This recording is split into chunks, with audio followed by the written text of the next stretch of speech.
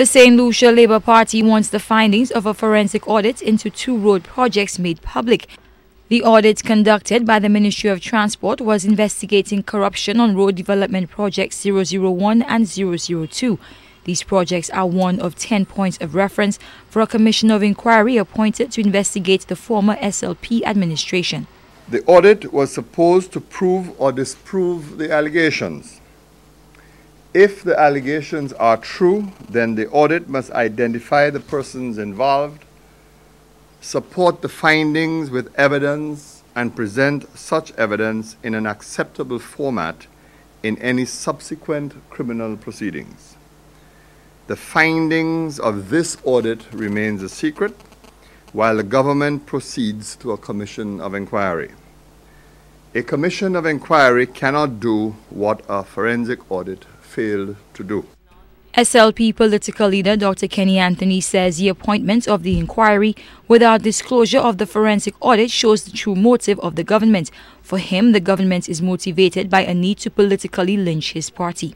We hold the view that this commission is more about witch hunting and political lynching rather than the establishment of transparency, accountability, and maintenance of appropriate standards in public life.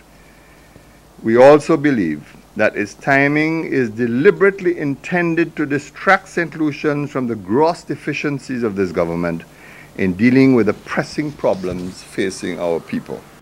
Despite its misgivings, the SLP intends to cooperate with the inquiry as long as five conditions are met.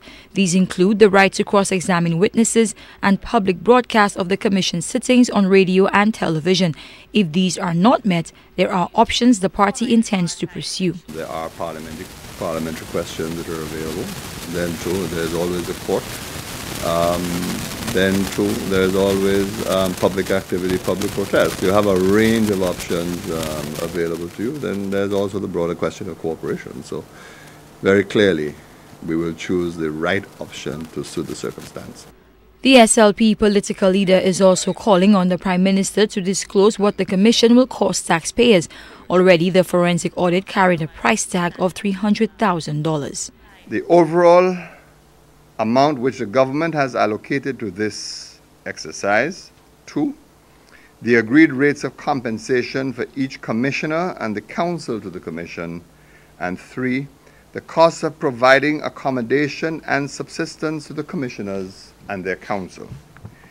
If Prime Minister King ignores disclosure on this matter and refuses to release the forensic audit, then the deceptive intent of the United Workers' Party will be exposed and the St. Lucia Labour Party will have no choice but to pursue other options at its disposal. The Commission of Inquiry will be held from February 25th to March 12th. It is a three-member body that will be chaired by Antigon Sufent and Ramsahoye.